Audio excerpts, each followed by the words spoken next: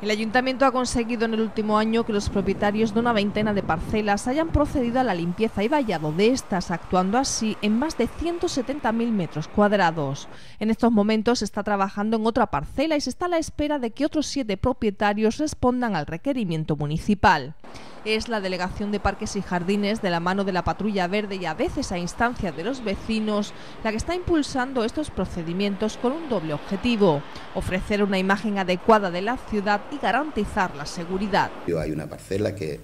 que no cumple lo que podemos decir las medidas de salubridad o un, peligro potencial porque puede haber incendio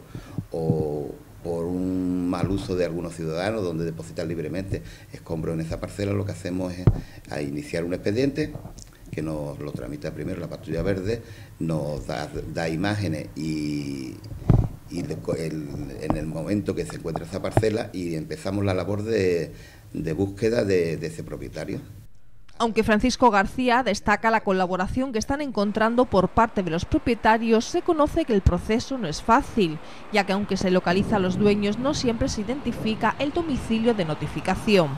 Además, desde el ayuntamiento se mantiene una lucha abierta para acabar con los depósitos incontrolados de vertidos que de forma tradicional se localizan en unos puntos rojos identificados, no más de cuatro o cinco asegura el concejal, ya que se ha logrado normalizar la situación en dos de ellos gracias a la colaboración de las empresas afectadas